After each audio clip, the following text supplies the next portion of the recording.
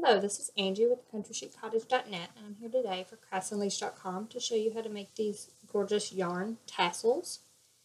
And what we're going to use today is some metallic gold yarn that's available on ConsumerCrafts.com and I have one open right here.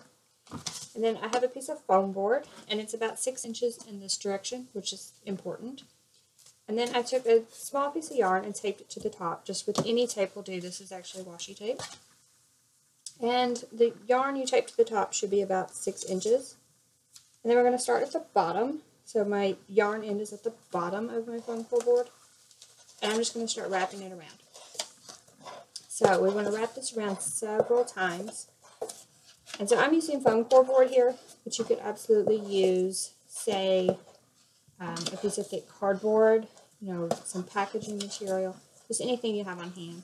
Just so long as it's stiff so when you're wrapping, it doesn't um, crinkle up or get smaller on you. So I am not counting how many times I'm wrapping this.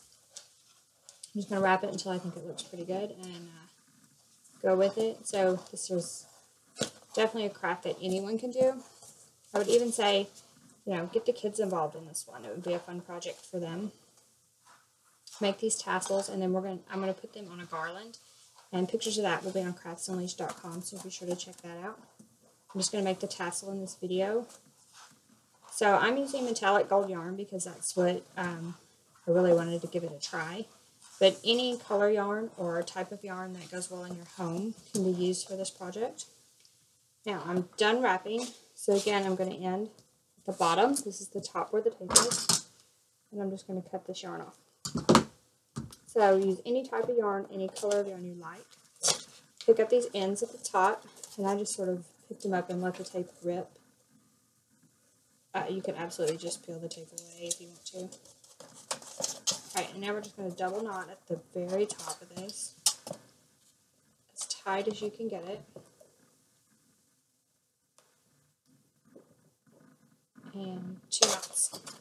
So now we have it double knotted at the top. This is the bottom and just pull until your yarn tassel comes right up the end.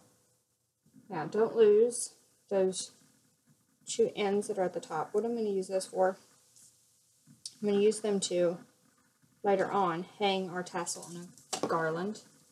So I'm keeping them loose. So here's our piece. And so we need another piece of yarn and this one's about 12 inches long. Doesn't matter, you can trim it later, you can cut it long and trim it off. Alright, so I just laid the tassel, unfinished tassel on top of that, and put it, say, about an inch down from the top, again, where we're knotted, and start wrapping it around really tight.